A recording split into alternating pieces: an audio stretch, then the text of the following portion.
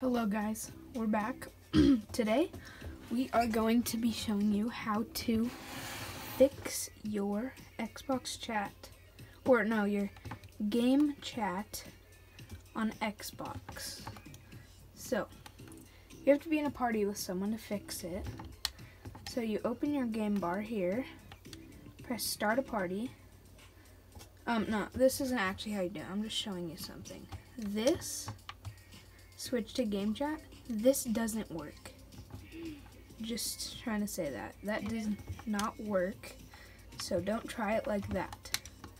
The way you want to do this is open this. Um, I'm giving the credit to this from my friend Dayne. So you go like this.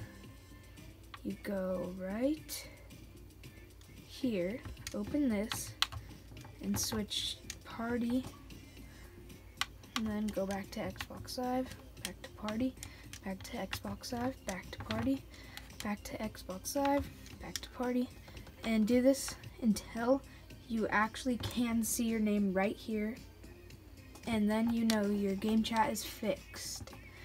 But if your mic mic is actually not working, this is what you have to do. You have to open your game bar here, go here, press on these three lines